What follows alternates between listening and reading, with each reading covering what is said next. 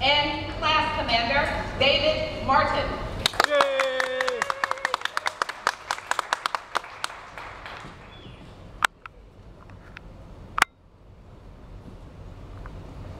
Police Officer George Miranda.